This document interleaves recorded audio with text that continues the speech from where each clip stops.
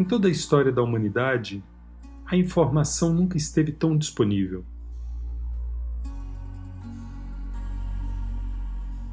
Digamos que por volta dos anos 50 do século passado, quando a linguagem se tornou digital, isso mudou completamente as possibilidades de acesso e difusão da informação.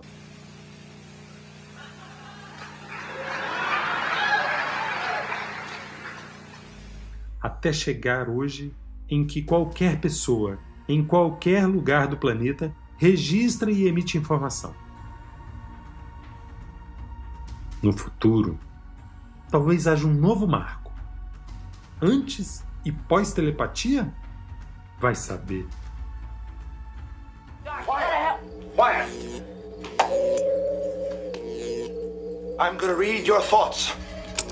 Telepathy is real. No, not that type of telepathy. I'm talking about scientifically created telepathy that uses electroencephalography, or EEG. Brain to brain communication first happened in 2014 during an experiment conducted by Starlab, Axillum Robotics, and Harvard Medical School but participants were only able to send and receive simple messages, and they had to use binary codes to spell out each word. It was slow. It could take up to 70 minutes to send and receive a four letter message. Eh, it was more like Morse code than real telepathy. But in the future, could there be fully functional telepathy equipment? Estamos vivendo paradigmas que vão definir a informação no futuro. Com toda a disponibilidade e o acesso aos computadores e dispositivos particulares, a informação tem sido classificada inclusive como excessiva, até devastadora.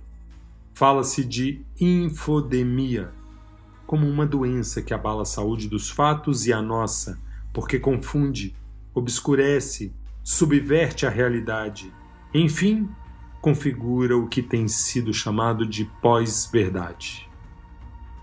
São esses dois conceitos que vamos abordar nesse episódio. Infodemia.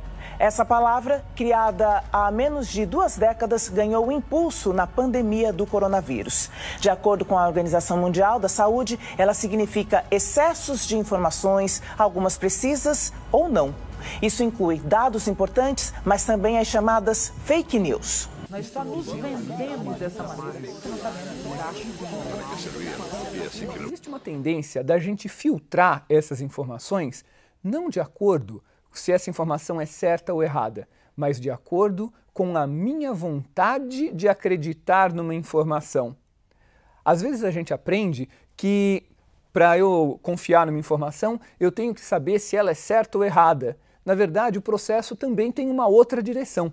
Muitas vezes eu acho certa uma informação que diz aquilo em que eu acredito. Quando a informação reforça aquilo que eu já acredito, para mim eu considero certo, e errado é tudo aquilo que mostra outro ponto de vista. Fazemos isso o tempo todo. Acreditamos em determinadas coisas e queremos estar certos.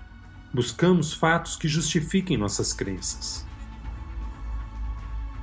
E o que é pós-verdade?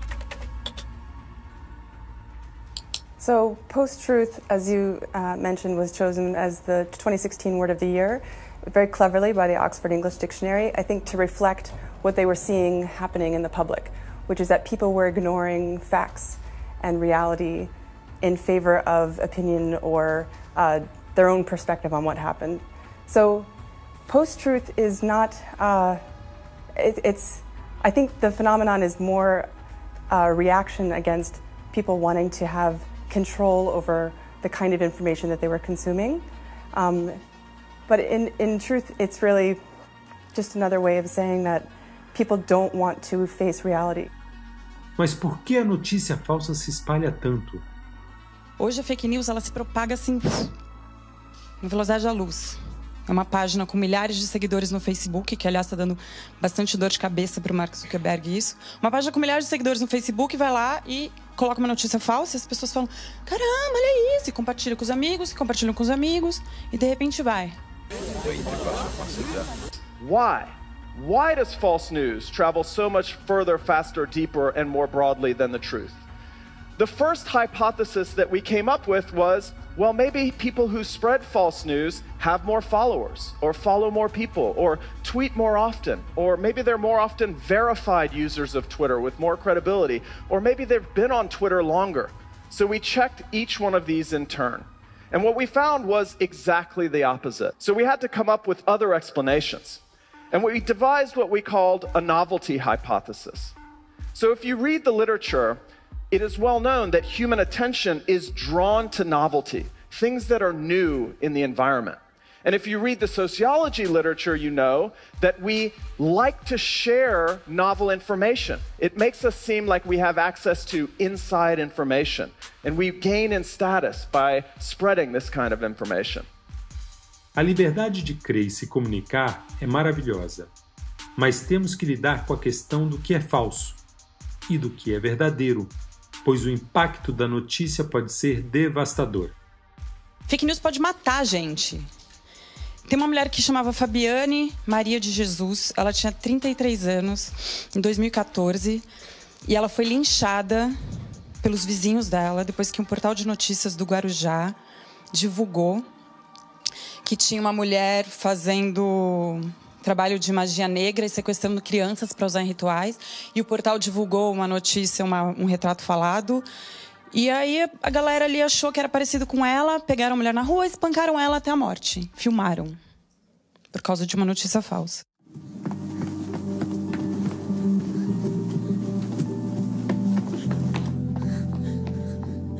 Espera!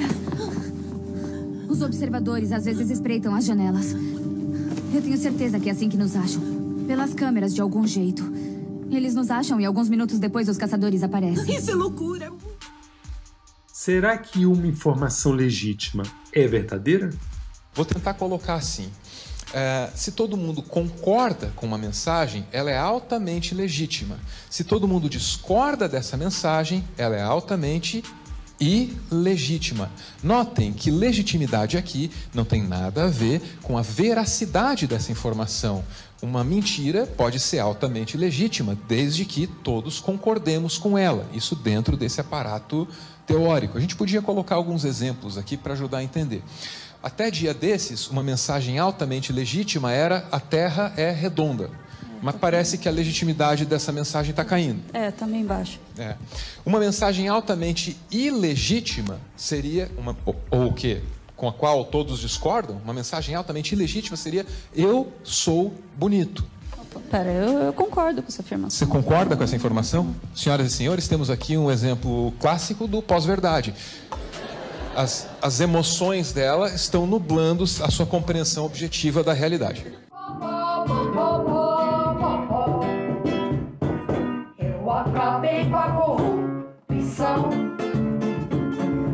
A Lava Jato virou carvão. No meu governo não tem bandido de estimação. Só minha família passando. Então, o que fazer para encontrar a verdade? One of the things I always recommend is to is an exercise of looking at Google News or any news aggregator that has multiple headlines on the same story.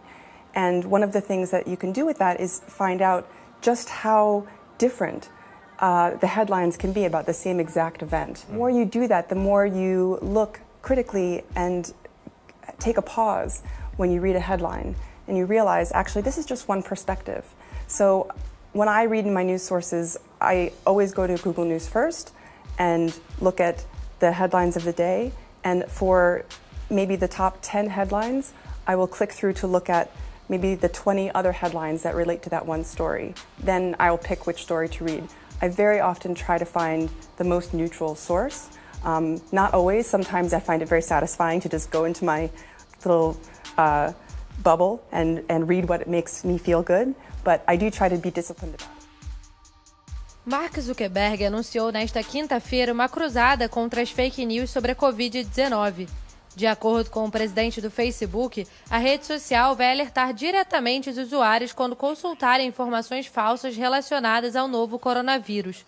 Durante o mês de março, a rede social suprimiu centenas de milhares de conteúdos sobre a pandemia, que poderiam representar um perigo iminente para a saúde das pessoas. A gente fez uma editoria no G1 recentemente, faz recentemente faz um ano já, que se chama É ou Não É, que a gente tem uma equipe para ir atrás de boato para saber se é verdade ou não. E assim tem um monte, assim, acho que em um ano a gente tem, sei lá, uns 200 boatos. Acho que 2% deve ser verdade.